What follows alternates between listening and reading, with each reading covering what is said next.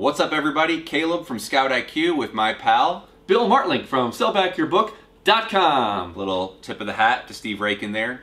Guys, we're coming to you live from Scout IQ's headquarters here in lovely Denver, Colorado.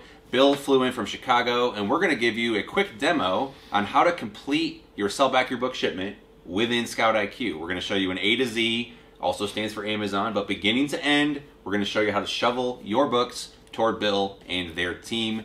If you guys missed the announcement, we now show Sell Back Your Book data directly in our app. I'm going to show you exactly how that works in Scout IQ slash Scout IQ, these lovely letters, as well as how you can build that shipment. So without further ado, let's go.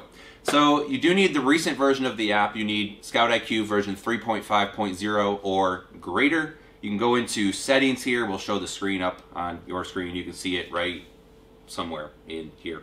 But uh, you'll see it's 3.5.0 or higher. Scroll to the bottom of settings. You'll see a wholesale integration with Sell Back Your Book.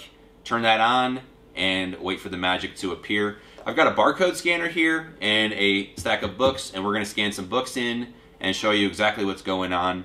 So again, this is great if you're looking to get quick cash for your books. If you're a bulk bookseller and need a way to monetize some duds, we'll turn your duds into studs. And by we, I mean they. Uh, if you also have some restricted books, they may be buying some of that, or Book Scouter is another option there. CDs DVDs also. Yeah, so you'll be able to get those, and we'll have some audio triggers coming very, very shortly.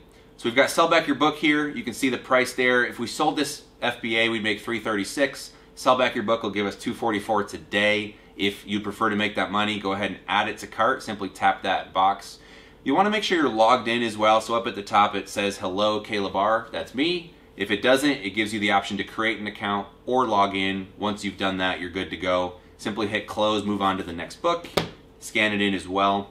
And again, if you don't tap the Sell Back Your Book logo, nothing's going to happen. You don't have to send it in. But just for the sake of this stack of books, we're going to keep sending those in.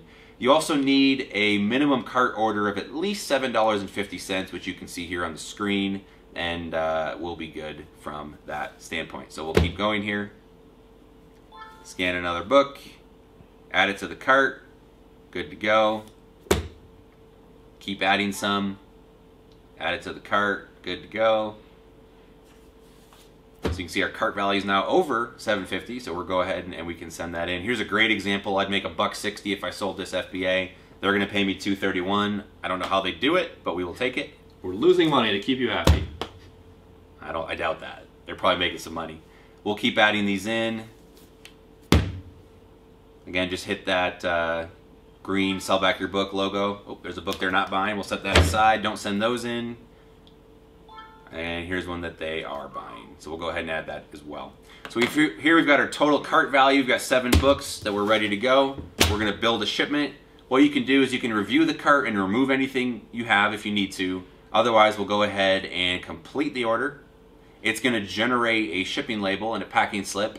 Now, I'm not going to finish this from mobile. It's going to be hard to print that way. We're going to grab a computer, print the, the uh, label, and we'll be right back in just a moment to show you how that works. And we're back. Hot off the press, we got two sheets of paper. Um, you get an email with a link to two things. One is the invoice packing slip. So it's got a little barcode that I'm sure they scan when it shows up in Chicago.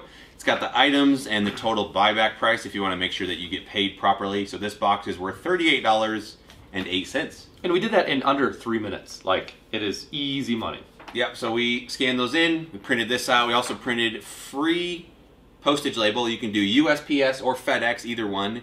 Um, I've heard FedEx and UPS are going to merge. They're going to call the new company Fed Up. Whoa! That's not a new one. This is going to go on the outside of the box. We'll tape that there just a second. Packing slip goes inside. You can probably tuck it inside a book maybe, mm -hmm. so it doesn't go too far. I've just got a random box. I think it's big enough. We'll tell you in a minute. We're gonna fill with the seven books. Oh yeah, we're good. Throw a little packing material in if we needed to. Close it up, get a tape gun, tape the label to the outside and drop it off at USPS or FedEx, whichever one it is. As soon as this shows up, you guys check it in within a day or two. Correct. You'll get an automated email saying, hey, your package has landed, it checked in, and then uh, day or two, maybe three to process depending on peak season, and then pay same day or next again depending on when it was processed. So, and lickety split, there you go. We pay via PayPal or check. And it's easy. Easy peasy. Lemon squeezy. We're going to turn your duds into studs. Actually, they will sell back your book with the Scout IQ integration. Thanks for watching. Go and find some books.